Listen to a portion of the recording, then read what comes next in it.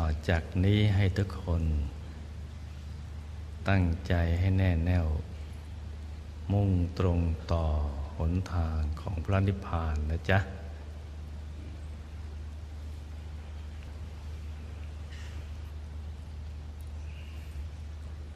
ให้นั่งคัสมาธิเอาขาขวา ทับขาซ้าย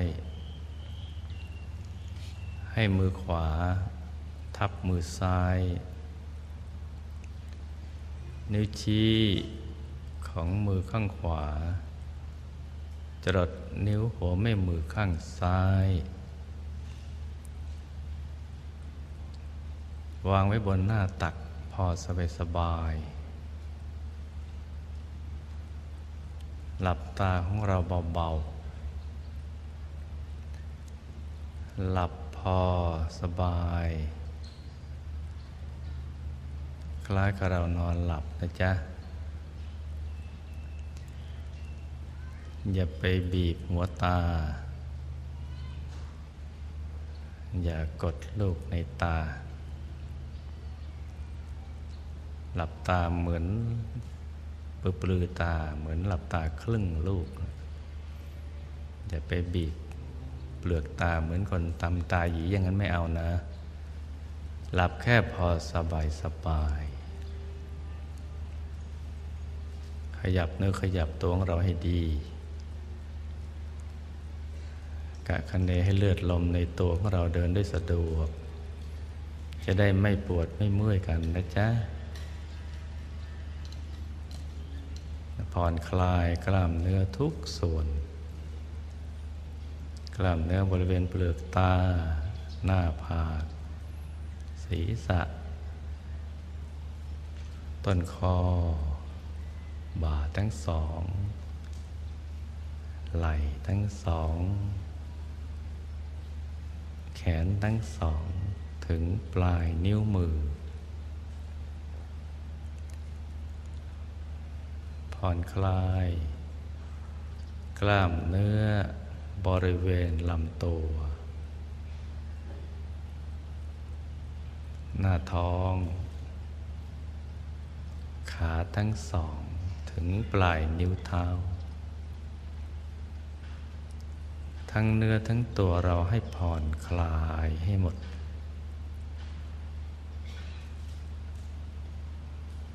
ทำใจเราให้สบาย ให้เบิกบาน ให้แช่มชื่น ให้สะอาด ให้บริสุทธิ์ ให้ผ่องใส ใจที่ปลอดคลาย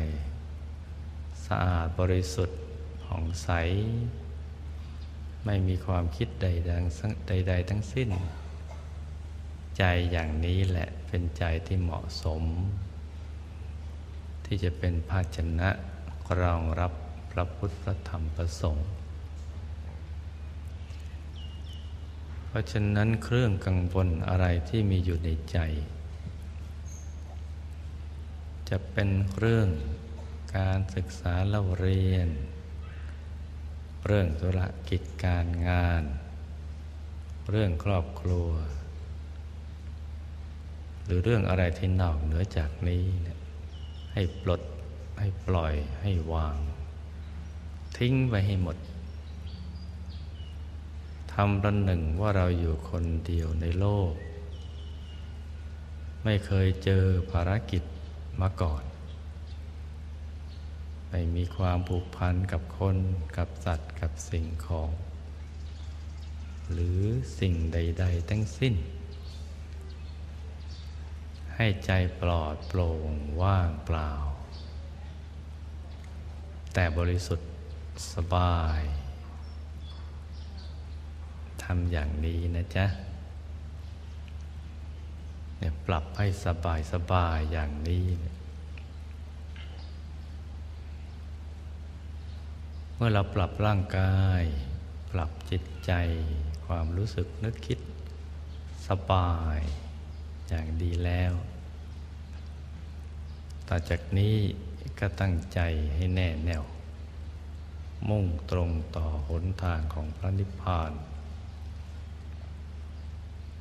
สำหรับท่านที่มาใหม่ทำความเข้าใจสักหน่อยหนึ่งประทางเดินของใจเรามีเจ็ดฐาน ฐานที่หนึ่งอยู่ที่ปากช่องจมูก ท่านหญิงอยู่ข้างซ้าย ท่านชายอยู่ข้างขวาานที่สอง อยู่ที่เปล่าตา หัวตาตรงที่น้ำตาไหล ท่านหญิงยังคงอยู่ข้างซ้าย ท่านชายก็ยังคงอยู่ข้างขวา ฐานที่สามอยู่ที่กลางกักศีรษะ ในระดับเดียวกับหัวตาของเรา สมมุติว่ากระโหลกศีรษะไม่มีมันสมอง เป็นที่โล่งๆว่างๆตรงจุดกึ่งกลางตรงนั้นแหละ ในระดับเดียวกับหัวตา เรียกว่าฐานที่สามฐานที่สี่อยู่ที่เพดานปาก ช่องปากที่อาหารสำลักฐานที่ห้า อยู่ที่ปากช่องคอ เหนือลูกกระเดือก สมมติลำคอเรากลมเหมือนปากถ้วยแก้วกึ่งกลางตรงนั้นแหละ เรียกว่าฐานที่ห้าฐานที่หกอยู่ในกลางท้อง ระดับเดียวกับสะดือของเรา สมมุติ เรานำเส้นได้มาสองเส้น เส้นหนึ่งขึงจากสะดือทะลุหลัง อีกเส้นหนึ่งขึงจากด้านขวาทะลุไปด้านซ้าย ให้เส้นได้ทั้งสอง ตัดกันเป็นกากบาท จุดตัดเล็กเท่ากับปลายเข็ม ตรงนี้เรียกว่าศูนย์กลางกายฐานที่หกยกถอยหลังขึ้นมาสองนิ้วมือ โดยสมมุติเอานิ้วชี้กับนิ้วกลางวางซ้อนกัน แล้วนำไปทาบตรงจุดตัดของเส้นได้ทั้งสอง สูงขึ้นมาสองนิ้วมือ ตรงนี้แหละ เรียกว่าศูนย์กลางกายฐานที่เจ็ดอยู่เหนือจากจุดตัดของเส้นด้ทั้งสองขึ้นมานะจ๊ะถ้าจำไม่ง่ายกับเหนือสะดือขึ้นมาสองนิ้วมือ เรียกว่าฐานที่เจ็ดสำหรับท่านที่มาใหม่ทำความเข้าใจให้ดีนะจ๊ะ ถ้าต่อไปหลวงพ่อพูดถึงศูนย์กลางกายฐานที่เจ็ด ก็หมายเอาตรงนี้นะจ๊ะตำแหน่งที่เหนือจากจุดตัดของเส้นได้ทั้งสองขึ้นมาสองนิ้วมือ เรียกว่าศูนย์กลางกาย ฐานที่เจ็ดตรงนี้เป็นที่สำคัญ ตรงฐานที่เจ็ดตรงนี้นะ เป็นที่พระพุทธเจ้าพระอรหันต์ทั้งหลายเสด็จ ไปสู่อายตนะนิพพาน โดยเอาใจของท่านมาหยุดอยู่ ตรงฐานที่เจ็ดตรงนี้แหละ ใจของท่านพอหยุดถูกส่วนเข้า ใจที่แวบไปแวบมา ไปคิดเรื่องราวต่าง ๆนะของท่านเอานำมาหยุดตรง ศูนย์กลางกายฐานที่เจ็ดตรงนี้นะพอถูกส่วนเข้า ท่านก็จะเข้าถึงสิ่งที่มีอยู่แล้วในตัว มีมาตั้งแต่ดั้งเดิม ตั้งแต่สมัยดึกดำบรรพ์เมื่อไหร่ก็ไม่รู้ละมีมาดั้งเดิม เป็นผังสำเร็จเขาทำติดตัวมา ในสรรพสัตว์ทั้งหลายตรงนี้แหละ โดยเฉพาะในมนุษย์พระใจท่านหยุดถูกส่วนท่านก็เข้าถึงสิ่งที่มีอยู่แล้ว คือดวงธรรม ท่านจะเห็นดวงธรรม ปรากฏเกิดขึ้นมาในกลางใจหยุดใจนิ่งที่ถูกส่วน ตรงฐานที่เจ็ดตรงนี้เนะ่ยเป็นดวงใสใสใส เหมือนเพชร หรือใสยิ่งกว่าเพชร เพชรลูกที่เจรไนแล้วนะ่ะไม่มีขีดไม่มีขวดเลย แต่เพชรนั้นยังต้องเอาไปเจรไนไปตัดเหลี่ยม มันถึงจะมีประกายเมื่อกระทบแสง แต่ดวงธรรมเบื้องต้นนั้นนะไม่มีเหลี่ยมกลมรอบตัว เหมือนดวงแก้วกายสิทธิ์ กลมรอบตัว กลมเหมือนดวงอาทิตย์ดวงจันทร์ดวงดาวนะกลม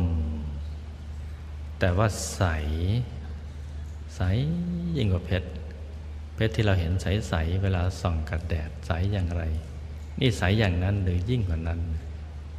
แต่เป็นความใสที่ไม่เคืองตา ไม่บาดตา เป็นความใสที่เย็นตา และก็มาพร้อมกับความสุข ภายใน ที่เราไม่เคยเจอมาก่อนเลย ใจจะรู้สึกปลอดโปร่งโล่งเบาสบาย ขยาย กว้างขวางไปอย่าง ไม่มีขอบเขต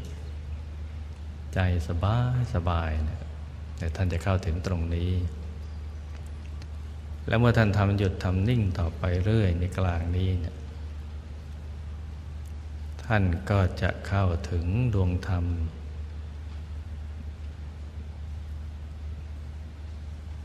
ซึ่งผุดเกิดขึ้นมาทีละดวงเป็นชุดทีเดียว ผุดซ้อนซ้อนซ้อนขึ้นมานะเข้าถึงดวงศีล ดวงสมาธิ ดวงปัญญา ดวงวิมุตติดวงวิมุตติญาณทัศนะเนี่ยเข้าถึงอย่างนี้เรื่อยไปเลย และก็เข้าถึงกายภายใน เข้าถึงกายมนุษย์ละเอียด ที่มีหน้าตาเหมือนกับตัวของท่าน หรือถ้าของเราก็เหมือนกับตัวของเรา ท่านหญิงก็เหมือนกับท่านหญิง ท่านชายก็เหมือนกับท่านชายเนี่ยตัวของท่านก็จะเข้าถึงกายมนุษย์ละเอียด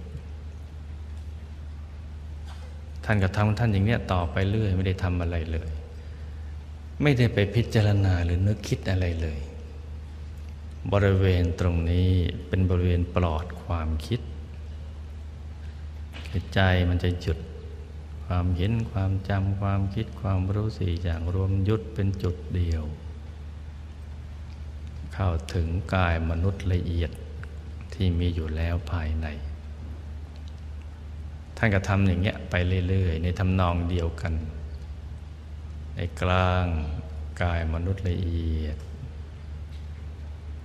เขาพบดวงธรรมเป็นชุดๆหกดวงเช่นเดียวกัน ต่างแต่ใสกว่า สว่างกว่า แล้วก็ใหญ่กว่า ก็เข้าถึงอีกกายหนึ่ง ที่มีลักษณะสวยงามกว่ากายเดิม เรียกว่ากายทิพย์ที่เรียกว่ากายทิพย์เพราะมีเครื่องประดับ สวมอยู่กับกายนั้นแนบสนิทเป็นอาภรณ์ประดับกายสนิททีเดียว สวยงามมาก แต่ท่านก็หยุดต่อไปอีกอย่างเนี้ยไปเรื่อยๆพอถูกส่วนเข้าก็พบดวงธรรมอีกชุดหนึ่ง หกดวงเหมือนกัน ต่างแต่ ใสกว่า สว่างกว่า แล้วก็ใหญ่กว่า เข้าไปเรื่อยๆ สุดดวงสุดท้ายก็เข้าถึง หลวงพ่อใช้คำว่าเข้าถึงนะคือถึงสิ่งที่มีอยู่แล้วนะอีกกายหนึ่ง ที่สวยงามกว่ากายทิพย์ ลักษณะก็คล้ายๆกัน แต่สวยกว่าใหญ่กว่า ปราณีตเรื่องประดับก็ปราณีตเรียกว่ากายโลพรมคำว่าปราณีตสมมติว่ากายทิพย์ในเครื่องประดับ เจียเพียงเล็กๆในน้อยสมมุติอย่างนั้นนะ คือทำพอลุกลวกถ้าพอถึงกายโลกพรมนั้นนะประดิษฐ์ประดอยละเอียดเข้าไปอีก นั่นนะเป็นกายโลกพรมเครื่องประดับติดตัว ติดตัวมาดั้งเดิมกายพรมนะรูปพรมก็เป็นแค่อย่างนี้เครื่องประดับแปลก มันจะต้องมีติดตัว ของมนุษย์ไม่มีต้องไปซื้อมาใส่ติดตัว ใส่แล้วก็พลุงพลัง ของกายพรมเนี่ยของเขาติดตัว ยังไม่หมดกิเลส ก็ยังรักสวยรักงามอยู่ ติดตัวอยู่อย่างนี้แหละ แต่ปลาณีตขึ้นบรรจงละเอียดอ่อนขึ้นไป ท่านก็หยุดต่อไปอีก ในกลางกายรูปภพก็เข้าถึงดวงธรรมอีกชุดหนึ่งหกดวงเช่นเดียวกัน ลักษณะก็คล้ายกัน ต่างแต่ ชัดกว่า ใสกว่า สว่างกว่า โตใหญ่กว่า สวยงามกว่า และกลางดวงสุดท้าย คือดวงวิมุตติยานทัศนะ ก็เข้าถึงกายอารูปพรม เข้าถึงกายอารูปพรม กายนี้ก็มีอยู่มาดั้งเดิมเหมือนกันรูปร่างก็คล้ายกับกายรูปพรม เนื่องจากไม่ใช่รูปพรมก็เลยเรียกว่าอะรูปพรมมันคล้ายกันมากถ้ามองบนเผินนึกว่ารูปพรมแต่ไปดูใกล้ๆแล้วไม่ใช่จึงเรียกว่าอะรูปประพรมมันไม่ใช่รูปประพรมแต่ว่าสวยงามกว่าไม่รู้จะเรียกว่ากายอะไรดี ก็เลยเรียกว่าอะรูปพรม เพราะไม่ใช่รูปพรม มันคล้ายกัน เครื่องประดับก็เหมือนกัน ต่างแต่ละเอียดกว่าปราณีตกว่า แต่กายทั้งหมดที่ผ่านมาเนี่ยท่าน รู้เห็นได้ด้วยดวงปัญญา เห็นได้ธรรมจักขุรู้ได้ด้วยดวงปัญญา คือมีจักขุที่ละเอียดเข้าไปเรื่อยๆว่านี่ยังไม่ใช่กายที่แท้จริง ยังมีการเปลี่ยนแปลงได้ กำลังบุญในตัวนะท่านท่านสอน ว่านี่ยังไม่ใช่ แต่ว่าใกล้จะถึงสิ่งที่ใช่อยู่แล้ว ก็หยุดต่อไปอีก พอถูกส่วนก็เข้าถึงดวงธรรมอีกชุดหนึ่งหกดวง เนี่ยขั้นเอาไว้ ขั้นแต่ละกายเอาไว้ เป็นเครื่องกลั่นใจของเรา กลั่นใจนะเหมือนน้ำที่กรอง น้ำสกปรกกรองผ่านเครื่องกรองเลื่อยมาเลยจนกระทั่งใสสะอาด แต่นี่ผ่านเครื่องกลั่น กลั่นด้วยดวงธรรมการได้ศีลได้สมาธิปัญญาวิมุตติวิมุตติญาณทัศนะจนกระทั่งกาย ที่เข้าถึงใหม่เนี่ย บริสุทธิ์ปราณีต เป็นกายที่สำคัญมากเลย เรียกว่ากายธรรม กายธรรม คือกายทั้งก้อนประกอบประดิษฐธรรมห้าอย่างนั่นแหละ ประกอบด้วยศีลสมาธิปัญญาวิมุตติวิมุตติญาณทัศนะ ประกอบก่อเกิดขึ้นเป็นกายธรรมแต่ขยายไปก็เป็นแปดหมื่นสี่พันปฐมขันธ์ กลั่นมาแล้วรวมเป็นกายธรรม ก้อนกายเนี่ยกันใส กลั่นด้วยศีล กลั่นด้วยสมาธิ กลั่นด้วยปัญญาโดยวิมุตติวิมุตติญาณทัศนะ รวมเป็นกายธรรม ลักษณะ สวยงามมากเนี่ยเป็นจุดเริ่มต้นของลักษณะมหาบุรุษละ งามกว่ากายอรูปพรม อรูปพรมว่างามกว่ากายรูปพรมหรือรูปพรมงามกว่ากายทิพย์หรือกายทิพย์งามกว่ากายมนุษย์แล้วเนี่ยกายทั้งหมดงามไม่เท่ากายธรรม นั่งขัดสมาธิอย่างเนี้ยขาขวาทับขาซ้าย มือขวาทับมือซ้าย นิ้วชี้มือขวาจรดนิ้วหัวแม่มือข้างซ้าย วางบนหน้าตักอย่างที่สอนอย่างนี้นะ กายตรงทีเดียว และใจท่านตรงด้วย ติดแน่นอยู่ในกลาง ฐานที่เจ็ดเลยเมื่อถึงตอนนี้เราจะพบว่าผู้ที่เข้าถึงความสมบูรณ์ของชีวิตที่ไม่ต้องการอะไรอีกแล้วนะ่ะจะอยู่ในอริยบทนั่งทำสมาธิ ใจหยุดนิ่งไม่ต้องแสวงหาอะไรอีกแล้ว เพราะว่าสิ่งที่มนุษย์เทวดาผมรูปผมอยากได้เนี่ยมันเรื่องเล็กสำหรับกายธรรมร่างกายทำมองต่อไปอีก แต่ไม่เกิดประโยชน์ สิ่งที่กายทำต้องการคือทำอย่างไรเนี่ยจึงจะสิ้นอาสวะหลักการทำให้สิ้นอาสวะ คือสาระของชีวิต เพราะฉะนั้นพอถึงตรงนี้กายธรรมจะนั่งสงบนิ่ง หยุดอยู่ในกลางตัวไม่ถอนถอยเลย ถูกส่วนเข้าถึงดวงธรรมอีกหกดวงอีกแล้วนะเป็นชุดเข้าไป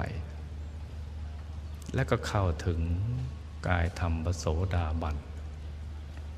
เข้าถึงกายธรรมปโสดาบันตัดเครื่องผูก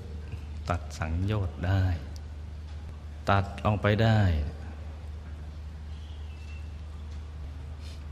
ตัดได้แล้วก็ท่านกับไปอย่างเงี้ยเรื่อยๆไปเลยดำเนินจิตไปเรื่อย ผ่านทีดวงธรรมทีละชุดหกดวงเป็นเครื่องกลั่นใจไปอีก ถึงกลายพระสกทาคามีการต่อไปอีกถึงกลายพระอนาคามี ต่อไปอีกถึงกายธรรมอรหัตนี่สำคัญที่สุดนะ กายธรรมอรหัต เกตดอกบัวตูม สงบนิ่งเป็นกายเดียวที่หลุดพ้น จากที่เขาครอบงำด้วยสังโยชน์ในอสวะ เครื่องผูก ให้เวียนว่ายแต่เกิดอยู่ในภพทั้งสามกายธรรมรหัสทะลุล่อนออกมาแล้ว เหมือนลูกไก่เจาะเปลือกไข่กระเปาะไข่ออกมา พ้นจากสิ่งที่เขาครอบงำให้อยู่ในภพสามอยู่ในภพสามแล้วยังไม่พอยังไม่รู้ว่าเรื่องราวเลยเขาทั้งปิดบังไมาให้รู้เรื่องราว แล้วแถมทำให้มีความทุกข์ทรมาน เวียนเกิดเวียนตายวนเวียนอยู่ในความทุกข์ ถ้าวนเวียนอยู่ในความสุขก็ไม่มีปัญหา จะอยู่เข้าไปนานแค่ไหนก็ได้ ในภพทั้งสาม แต่มันไม่อย่างนั้นมันก็วนอยู่ เดี๋ยวก็เอาไปตกนรกก็ได้ ไปเป็นเปรตเป็นอสุรกาย สัตว์เดรัจฉาน เดี๋ยวมาเป็นมนุษย์ เดี๋ยวมาเป็นทิพพมก็วนเวียนกันอยู่อย่างนี้วนกันไปวนกันมานะบังคับอยู่ภายใน เป็นฉากหลังที่ไม่มีใครรู้เรื่องราวเลย บังคับบัญชาอยู่ เพราะนั้น มีกายธรรมเท่านั้นถึงจะรู้เรื่องราว เนื่องจากกายธรรม มีญาณทัศนะและธรรมจุจักขุที่ทะลุภพสามไปแล้ว มองทะลุออกหมด มองเห็นสิ่งที่เขาบังคับบัญชาอยู่อยู่ภายในนี่พระพุทธเจ้า พระอรหันต์ทั้งหลายท่านทำอย่างนี้นะทำอย่างเนี้ยจึงเสด็จไปสู่อายตนะนิพพานได้ พวกเราก็เหมือนกัน เราต้องรู้จักเส้นทางของชีวิต ซึ่งเป็นแผนผังของชีวิตของเราสักก่อน เข้าใจอย่างนี้แล้วเราจะได้ตั้งใจ จะได้ขยัน จะได้ไม่มัวกแค่ทำมาหากิน สนุกเพลิดเพลินเลี้ยงลูกเลี้ยงหลาน ติดกระโหลกกระลากันไปอย่างเดียวเท่านั้น ชีวิตมันจะได้มีประโยชน์มากกว่านั้น เพราะนั้นแผนผังของชีวิตนี้ต้องเข้าใจนะจ๊ะต้องเข้าใจให้แจ่มแจ้ง สิ่งเหล่านี้มีอยู่ในตัวของเราทุกทุกคนที่นั่งที่นี่ทุกคนในโลกสรรพสัตว์ทั้งหลายมีหมดเลย แต่ว่าไม่รู้ เพราะเขาหุ้มเอาไว้หมดเลย เขาหุ้มเอาไว้หมด เหมือนเอาคนตาดี ไปขังไว้ในห้องมืดๆเอาความมืดหุ้มเอาไว้ เอาห้องขังเอาไว้ เอากำแพงล้อมเอาไว้ ล้อมกันไปหลาย ๆ ชั้นเลยไม่รู้เรื่องกันเลย มองไม่เห็น เพราะฉะนั้นเข้าใจอย่างนี้แล้วเราต้องเป็นนักสู้ เราจะต้องเป็นนักสู้นะจ๊ะ สู้เพื่อที่จะเอาชนะสิ่งที่บดบังดวงปัญญาของเรา ทำให้เราไม่รู้ไปตามความเป็นจริงเนี่ยเราต้องเป็นนักสู้ ก่อนที่เราจะได้บูชาข้าวพระกัน ให้ทุกคนเอาใจมาหยุดนิ่งอยู่ที่ศูนย์กลางกาย ตรงฐานที่เจ็ดนะจ๊ะ ใจหยุดนิ่งให้ถูกส่วนทีเดียว แล้วนึกถึงสิ่งที่จะทำให้ใจเราบริสุทธิ์ ให้ใจเราหยุดนิ่งได้โดยไม่วอกแวก สิ่งที่ควรนึกถึงก็คือพระพุทธเจ้า พระพุทธเจ้าท่านดับขันธปรินิพพานนามไปแล้ว เพราะนั้นสิ่งที่จะเป็นตัวแทนของท่านได้คือ พุทธปฏิมากร หรือพระพุทธรูป ต้องนึกให้ใสเป็นแก้วทีเดียวนะนึกให้ใสเป็นแก้ว นึกถึงความบริสุทธิ์ของพระองค์ท่าน ให้ใสเป็นแก้วทีเดียวนะอาราธนาให้ท่านคำว่าสิงสถิตอยู่ในศูนย์กลางกายฐานที่เจ็ดอารัตนาองค์พระนะพระแก้วใสๆมาสิงสถิตอยู่ที่ศูนย์กลางกายฐานที่เจ็ดขนาดใหญ่เล็กแล้วแต่ใจของเราชอบ เราชอบขนาดใหญ่ก็นึกให้องค์ใหญ่ ชอบขนาดเล็กก็นึกองค์เล็กนะจ๊ะนึกถึงพระแก้วใสๆให้ท่านนั่งขัดสมาธิทำสมาธิหันหน้าออกไปทางเดียวกับตัวของเราอย่านึกให้ชัดๆ อย่างสบายสบาย อย่าไปตั้งใจนึก แรงนะจ๊ะ นึกให้ชัดๆ นึกให้ใสๆ พร้อมกับภาวนาในใจ ภาวนาว่าสัมมาอรหัง สัมมาอรหัง สัมมาอรหัง สัมมาอรหังกันไปอย่างเนี้ยทุกครั้งที่ภาวนาสัมมาอรหัง เราก็นึกถึงละแก้วใส ๆ ไปด้วยนะจ๊ะ ทุกครั้งที่นึกถึงพระแก้วใส ๆ เราก็ภาวนาสัมมาอรหัง ภาวนาอย่างนี้จนกว่า ใจจะหยุดนิ่ง อย่าไปกังวลกับฝนตกนะจ๊ะ เดี๋ยวมันจะหยุดของมันเอง เขาลองลิดเรานิดหน่อยเท่านั้นเองนะจ๊ะดูความมุ่งมั่น ดูความตั้งใจ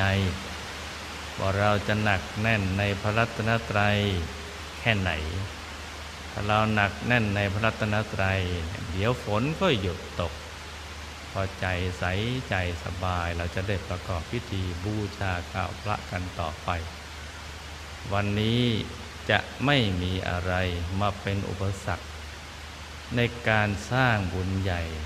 ซึ่งเรากำลังจะประกอบพิธียกคำฟ้า สถาปนา สภาธรรมกายสากล เพราะนั้นตอนเช้าเป็นเรื่องของการทำสมาธิภาวนา ตอนบ่ายเราจะสบาย จิตใจเราจะเบิกบาน เราจะแช่มชื่น เพราะฉะนั้น อย่านึกถึงสิ่งแวดล้อม ให้นึกถึงพระแก้วใส ๆ โดยเฉพาะท่านประธานหลัก อย่าวิตกกังวล ท่านประธานหลัง ท่านประธานรองทท่านประธานรวม ท่านประธานรอ ท่านประธานกอง ทุกทุกท่านไม่ต้องวิตกกังวล เดี๋ยวทุกสิ่งก็จะเป็นไปอย่างที่เราปรารถนา ต่างคนต่างทำสมาธิภาวนากันไปเงียบๆจนกว่าจะถึงเวลา ที่เราจะประกอบพิธีบูชาข้าวพระกันต่อไปนะจ๊ะ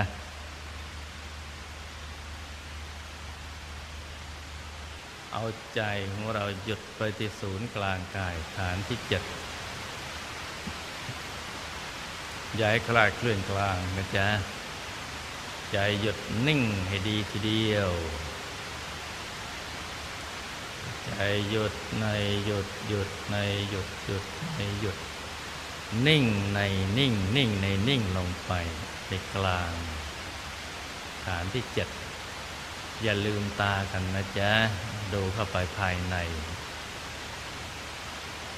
ใครเข้าถึงดวงธรรมได้ ก็เอาใจหยุดไปในกลางดวงธรรมใครเข้าถึงกายมนุษย์ละเอียด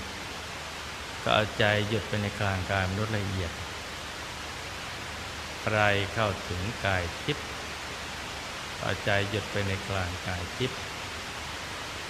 ใครเข้าถึงกายระบบลมก็เอาใจหยุดไปในกลางกายระบบลม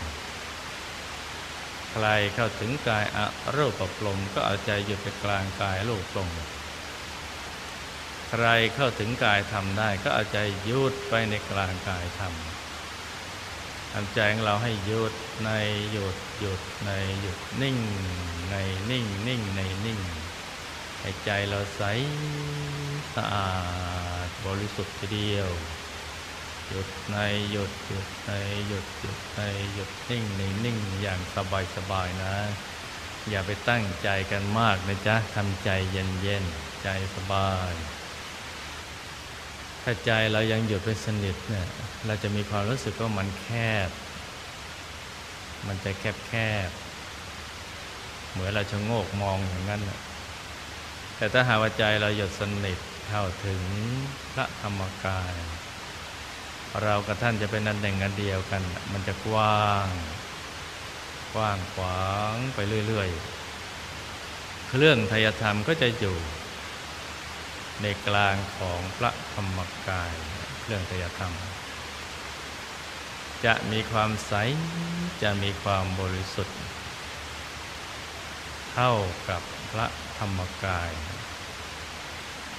แต่พอใจเราหยุดในหยุดหยุดในหยุดต่อไปเรื่อยๆ เดี๋ยวพระธรรมกายท่านก็ผุดเกิดขึ้นมาทีละองค์สององค์ทีละหลายหลายๆองค์จนกระทั่งต่อเนื่องกันเป็นสายทีเดียวขององค์พระใสบริสุทธิ์ ใสในใสตรงนั้นนะ แล้วเครื่องทยธรรมก็อยู่ในกลาง องค์พระธรรมกายทุกทุกองค์ การที่จะไปสู่อายตนะนิพพานได้นั้นนะจะต้องอาศัยกายทำอย่างเดียว กายอื่นไปไม่ได้ และกายธรรมก็จะต้องมีความละเอียดมาก มีความละเอียด เท่ากับความละเอียด ของอายตนะนิพพานพอความละเอียดตรงกันก็ดึงดูดเข้าหากัน จะตกศูนย์วูบเข้าไปเลย ไปอยู่ในกลางอายตนะนิพพานในอายตนะนิพพานไม่มีอะไรกำบัง มีแต่พระธรรมกายของพระพุทธเจ้าเต็มไปหมดเลยนะจ๊ะ เต็มไปหมดนั่ง เข้านิโรธสมาบัติจุดนิ่งอยู่ในกลางท่านเต็มเป็นระเบียบทีเดียว เรียงรายกันอย่างเป็นระเบียบเรื่องทยธรรมของพวกเราทุกๆคน ก็จะน้อมขึ้นไปอยู่บนนั้น น้อมขึ้นไป และคุณยายท่านก็จะทับทวีขึ้นไป ถวายเป็นพุทธบูชา แด่พระสัมมาสัมพุทธเจ้าที่มีพระธรรมกายปรากฏอยู่ นับอสงไขยพระองค์ไม่ท้วนทีเดียว ทับทวีกันไปเรื่อย ทับทวีกันเข้าไปญาณทัศนะก็กว้างไกลออกไป ก็ปรากฏธรรมกายของพระเจ้ามากขึ้นกว่าเดิมเข้าไปอีก รื่องทยธรรมก็มากทวีคูณไปเรื่อย ทับทวีไปเรื่อย มีกี่พระองค์เครื่องทยธรรมก็ทับทวีเท่ากันไปเลยถวายเป็นพุทธบูชาแด่พระธรรมกายของพระพุทธเจ้าทุกๆพระองค์ ถวายเสร็จก็ขอบุญขอบารมีปัญญาก็ขอบุญบารมีและสมัยกำลังฤทธิ์อำนาจ สิทธิ ของพระพุทธเจ้าในอายตนะนิพพาน นับอสงไขยพระองค์ไปท่วน ให้บุญบารมีทั้งหมดเหล่านั้นลงมาซ้อนอยู่ในศูนย์กลางกาย ฐานที่เจ็ดของพวกเราทุกๆคน ให้ลงมาซ้อนให้หนาแน่นทีเดียวให้ดวงบุญนี้มีอนุภาพให้ได้ผลบุญปัจจุบันทันตาเห็น ใครที่ศึกษาเล่าเรียนก็ให้ศึกษาเล่าเรียนให้แตกฉานสำเร็จการศึกษาสมความปรารถนา ใครที่เป็นนักธุรกิจ ก็ให้ประกอบธุรกิจการงาน มีแต่ความเจริญรุ่งเรืองอุปสรรคต่างๆ นานาก็ให้ละลายหายสูญไปให้หมด ใครรับราชการก็เอาบุญ ศักดิ์สิทธิ์นี่ส่งเสริมเติมต่อ ส่งไปให้ถึงที่สุดให้ได้ ให้ครอบครัวทุกคนอยู่เย็นเป็นสุขเป็นครอบครัวธรรมกาย ไม่มีความขัดแย้งกันเลย มีความสามัคคีกลมเกลียว ให้เป็นน้ำหนึ่งใจเดียวกันไปหมด มีความสุขด้วย การประพฤติปฏิบัติธรรมโดยการสั่งสมบารมี เอาบุญเนี่ยหล่อเลี้ยงรักษาใครเจ็บใครป่วยใครไข้ก็ให้ร่างกาย แข็งแรงหายเจ็บหายป่วยหายไข้ มีความสุขกายสุขใจทุกอย่างเลย ทุกโศกโรคภัยละลายหายสูญหมดความวิตกกังวลเศร้าซึมเซ็งเครียดเบื่อกุ้มอะไรต่างละลายไปด้วยอนุภาพแห่งบุญจากพระนิพพาน ที่เกิดขึ้นจากการสร้างมหาทานบารมีบูชาข้าวพระนี้บังเกิดขึ้นกับทุกๆคน ในปัจจุบันในทันตาเห็นพบชาติต่อไปในอนาคตก็ให้สมบูรณ์ไปด้วยลูกสมบัติทรัพย์สมบัติคุณสมบัติ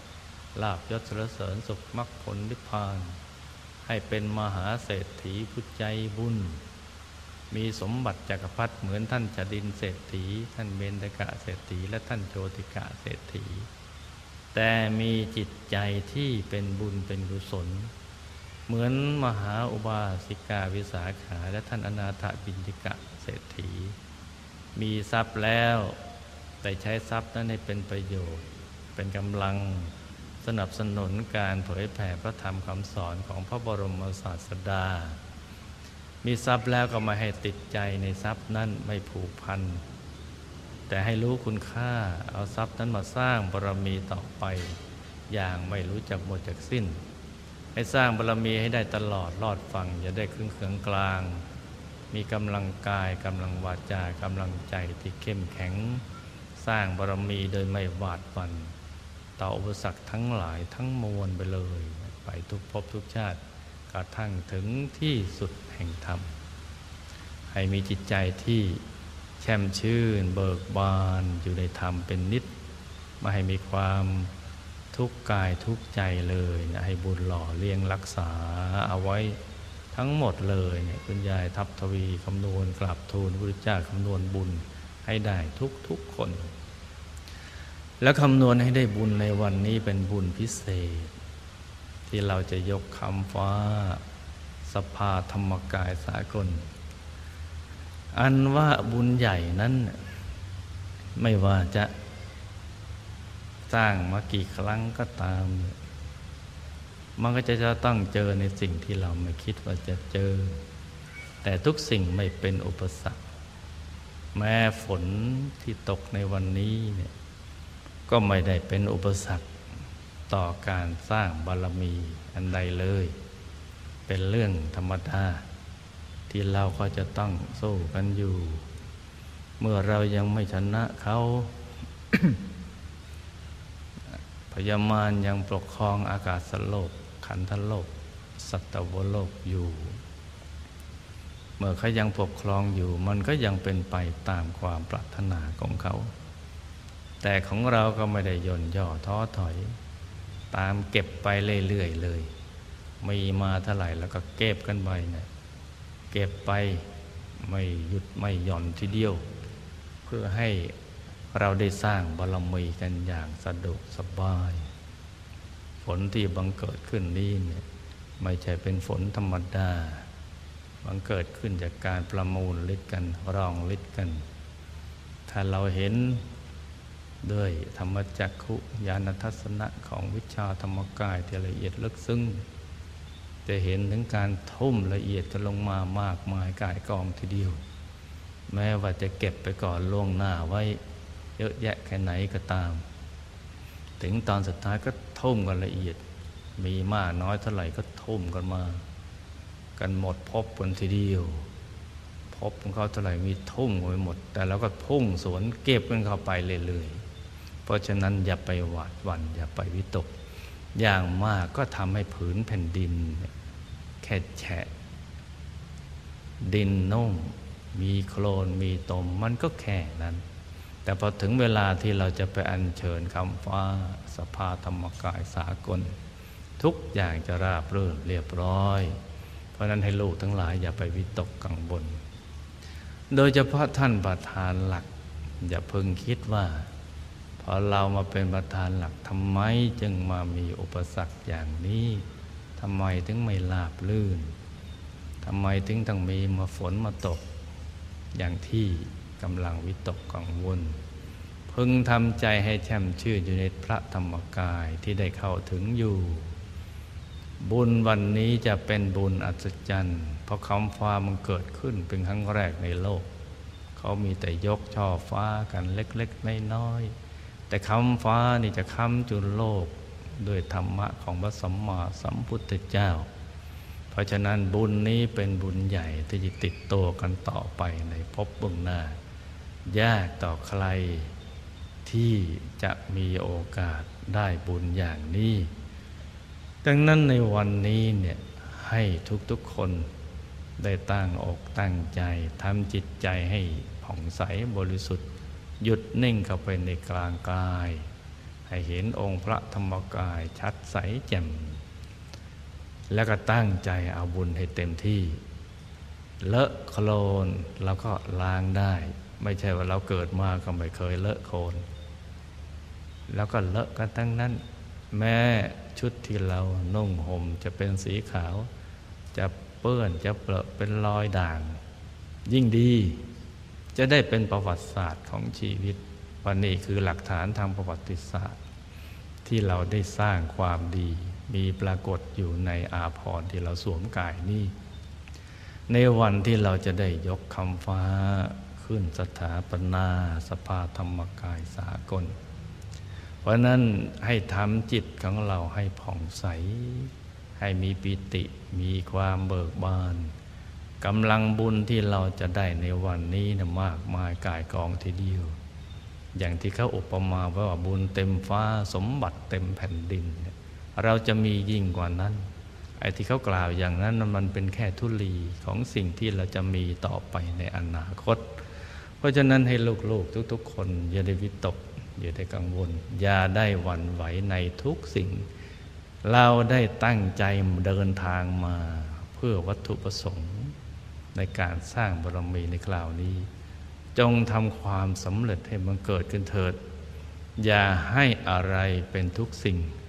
ไม่ต้องหลีกเลี่ยงกับโคลนตมที่มันเกิดขึ้น เดินไปข้างหน้าเรื่อยไป จนกว่าจะถึงที่สุดแห่งธรรมนะจ๊ะ ให้เอาใจหยุดนิ่งให้ดีทำจิตใจให้เบิกบานให้แช่มชื่น ให้สะอาดผ่องใสให้